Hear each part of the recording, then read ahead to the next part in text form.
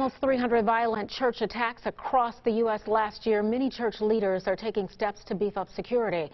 Fox 16's Chanley Painter takes us to Geyer Springs First Baptist Church in Little Rock, where more than 100 people from across the state are working to fight an all too common reality.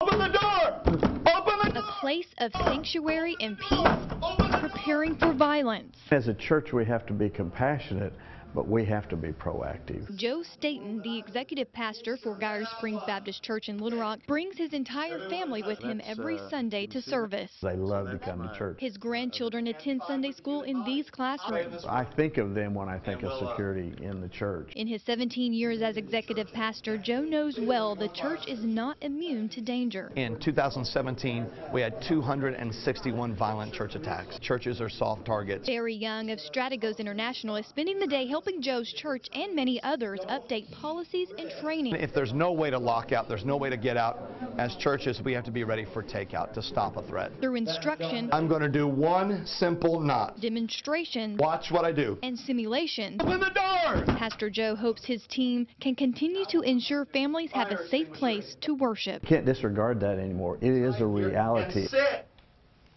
Well, instructor Barry Young says churches can implement effective response procedures with or without arming parishioners, but that decision is up to each individual church.